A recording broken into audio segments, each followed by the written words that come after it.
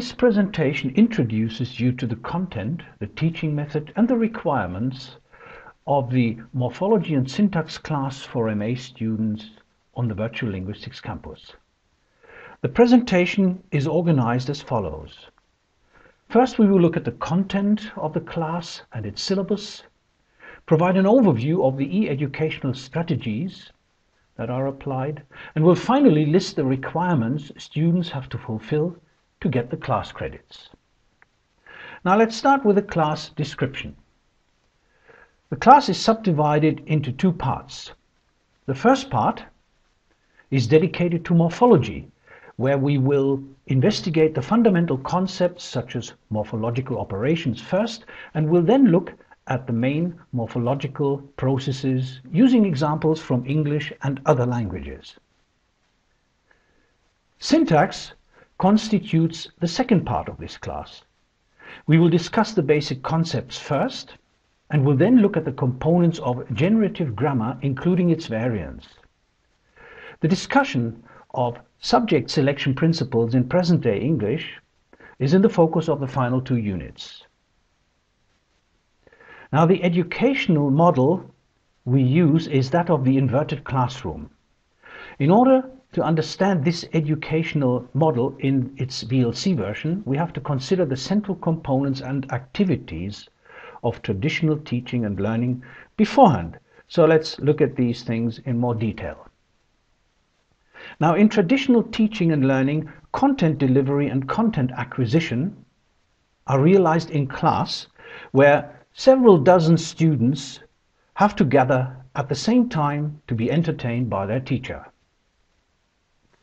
In a second phase, students practice on their own, on the basis of additional exercise material, homework tasks, etc.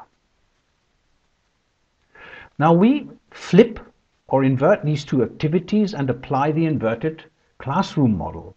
Content acquisition is now self-guided. It takes place first and is done online. The additional in-class phase is now dedicated to practicing, rehearsing, discussion, analysis, etc. This means that prior to each in-class meeting, students must have worked through the online content of each respective unit. This model has become known as the inverted classroom model or the flipped mastery education model. Now, the educational principles that are applied are now pretty clear. In phase one, you are now the autonomous learner, whereas in phase two, we will meet in class where classical teaching, frontal teaching is now out.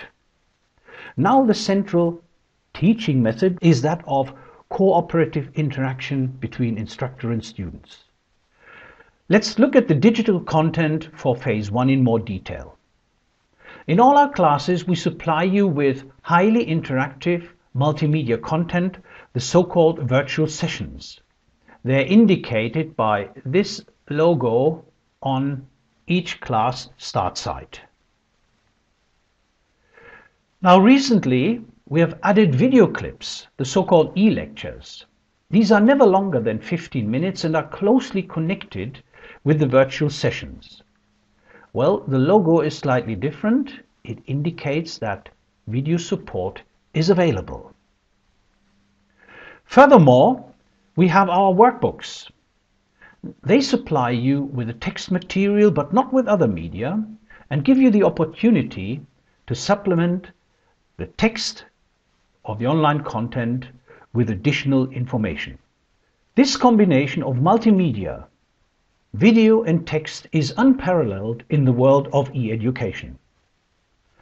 Now finally, you want to know what you have to do in order to get the six class credits, where one credit is the equivalent of about 30 hours workload. Now the credits will be awarded as follows. First of all, we want you to actively participate in our class activities. Secondly, you have to do at least six ungraded worksheets.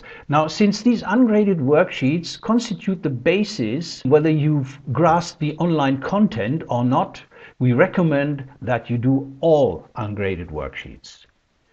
Two of these worksheets, however, are graded.